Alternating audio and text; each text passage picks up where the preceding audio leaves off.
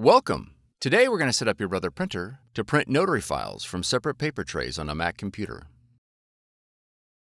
This video will cover multiple models and operating systems. Even though your machine may not match the model on the screen, the overall process will be the same. Loan or notary PDF files usually consist of letter and legal size pages. To print these files from a Mac running Mac OS 12 or below, a few things need to be done for them to print correctly. We will begin by selecting the paper size for each tray. On the control panel, press the down arrow repeatedly until the paper tray option appears on the LCD window. Then press OK.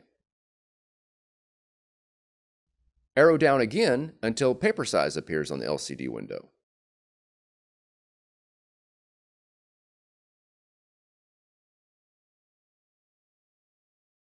Then press OK. Arrow down until the Tray 1 option appears, then press OK to set up the first paper size. For this example, we're going to select letter size, but you can use the up and down arrows on the control panel to select a different size paper. Press OK to accept the paper size. Arrow down again until Tray 2 appears, then press OK to set the next paper size. For this example, we're going to set it to legal size. You can continue this process for as many trays as you have installed. Press OK. Press the Cancel button to exit out of the menu. Next, you'll need to make sure the driver is set up properly. Regardless of the Mac operating system you're running, you'll need to download the printer driver for Mac OS 10.15. The 10.15 driver package contains the BRScript 3 driver that is suitable for all editions of macOS and is necessary to print your mixed size loan and notary documents. Follow the link on the screen to go to the download page for your Brother model. Select 10.15 for your macOS version, and then click OK. Select Printer Driver, and then agree to the license.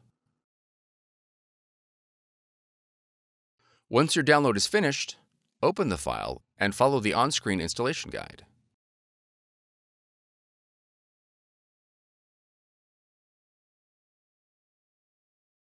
Once the installation is completed, open Printers and Scanners, then click the plus icon to add a printer. Select your printer and then click the Use drop-down.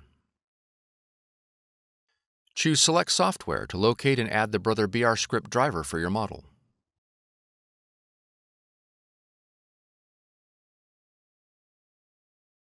To print your mix size PDF file, you'll need to open your PDF with Adobe Reader.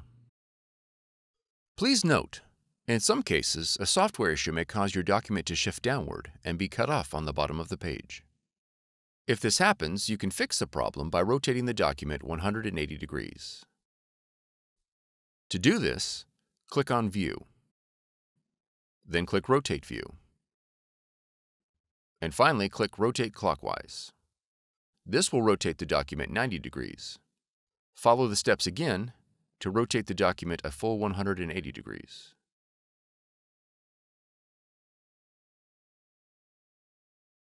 Once your file is opened, you'll need to select Choose Paper Source by PDF page size for the document to print correctly. Ensure that you have the correct printer chosen and select Print.